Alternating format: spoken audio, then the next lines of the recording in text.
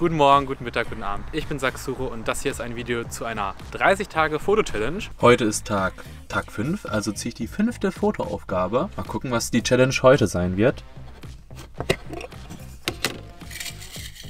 Okay, das wird sie sein. Bin gespannt. Heutige Aufgabe ist Innocent, unschuldig. Nice.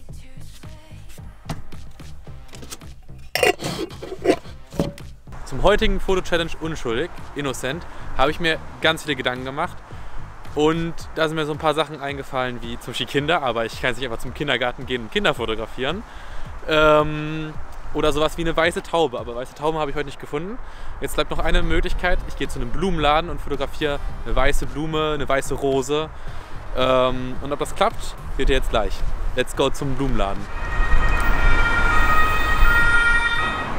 Wie viel Pech kann man haben? Das Geschäft hat schon zu und geschlossen.